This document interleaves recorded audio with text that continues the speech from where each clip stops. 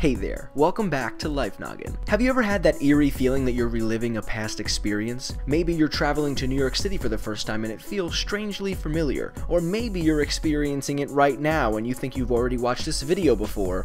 Ooh, spooky. This phenomenon is called deja vu, which is French for already seen. Historically, deja vu has been linked with epilepsy and seizures in the brain, but that doesn't explain why people without epilepsy experience deja vu. After all, about two-thirds of the population have experienced it at least once in their lives lives. So there has to be something else going on here. The exact cause of deja vu is unknown, but there are a lot of theories attempting to explain it. For simplicity's sake, let's narrow it down to three main categories. The first of these is called dual processing. This is when two normally coordinated cognitive processes become momentarily out of sync. For example, if I feel familiar with something, it might be because my brain has retrieved a memory similar to that one that I'm currently experiencing. Retrieving a memory always comes before the familiarity. Well, except in deja vu. In that case, I would have a feeling of recalling something without my brain actually doing any retrieving. I could feel like I recognized something on that street corner in New York City without ever having been there before. The next theory is related to the nervous system not functioning properly. Deja vu could either be caused by a spontaneous firing of a neuron or from a delay in the neuron's transmission speed. To demonstrate the second one, let's take a look at this alpaca walking in high heels. Now, you've more than likely never seen an alpaca do that before. If you have, I'm very jealous of you. But if you were experiencing deja vu, one explanation is that the information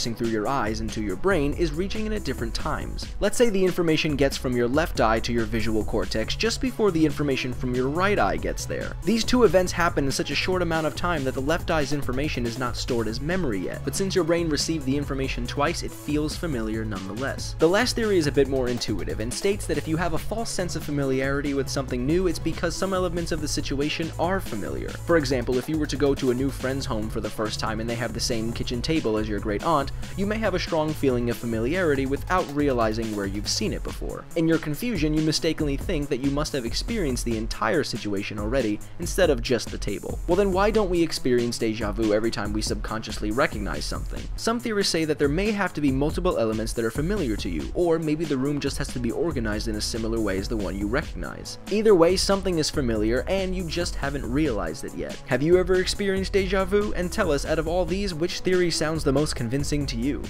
If you want even more Life Noggin, check out this great video we did on why our hair turns gray, and make sure you're following us on Facebook and Twitter. We post some pretty cool stuff there too. I'm Blocko, this has been Life Noggin. Don't forget to keep on thinking.